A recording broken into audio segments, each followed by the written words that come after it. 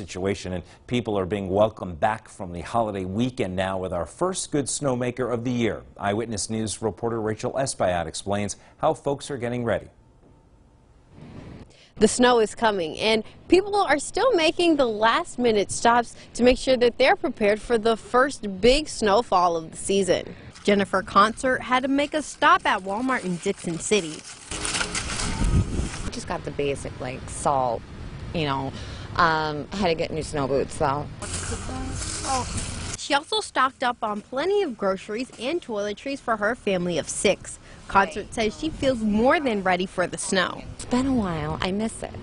I miss the snow. Yes, I miss the snow. The other side of being ready is exercising caution.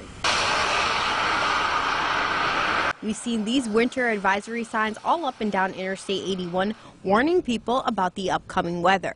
Know how to drive, like don't ride somebody's tail if it's cold and icy.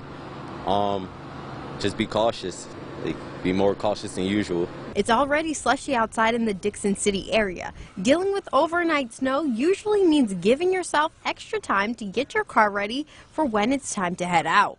Go out in the morning before you even make your coffee. You know, spend that time getting ready. Your whole car, your car's warming up the whole time. Once the snow starts accumulating, it's better to stay inside, but if you must go out, take your time and just be careful. In Dickson City, Rachel Espaillat, Eyewitness News.